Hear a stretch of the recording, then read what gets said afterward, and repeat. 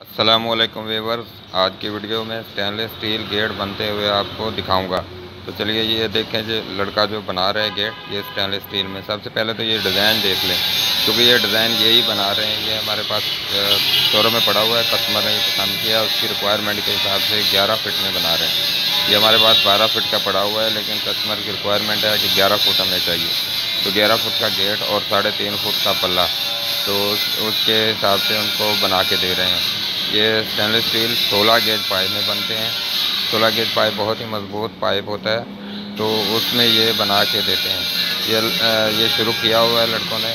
ये इंशाल्लाह अभी बनाएँगे। बाकी अल्लाह करे ईद आ गई, कल ईद है तो ये कल हमारी तीन छुट्टियाँ हो जाएँगी। तीन छुट्टियों के बाद इंशाल्लाह जब शॉप खोलेंगे तो ये गेट मुकम्मल करके आपको मुकम्मल होने के बाद की वीडियो भी आपको लाजमी मैं शेयर करूँगा और वहाँ पे हम लोगों ने फ़िटिंग भी करनी है।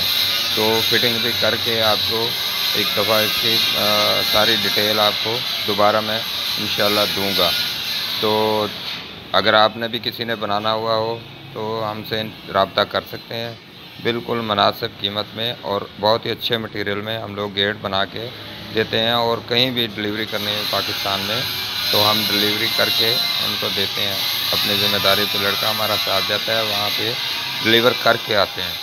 तो बस बस यही है हमारा जी काम और हम कोशिश तो यही करते हैं कि कस्टमर के लिए अच्छी से अच्छी सर्विस प्रोवाइड कर सकें, कि उनको कोई मसला ना हो। तो उसके लिए बहुत कोशिश करते रहते हैं कि अच्छी से अच्छी सर्विस कस्टमर को प्रोवाइड कर दें। तो बेफिक्र हो कि आप गेट बनवा सकते हैं और हमारा लड़का साथ जाता है, वहाँ पे डिलीवर करके आपको आएगा। तो चलिए जी वीडियो का एंड करते हैं। वीडियो अच्छी लगी तो लाइक ज़रूर करें शेयर भी करें और कमेंट्स भी कमेंट्स में ज़रूर बताएँ कि आपको कैसे लगते हैं हमारे गेट और क्या इसमें इम्प्रूवमेंट करनी चाहिए। अल्लाह हाफिज़।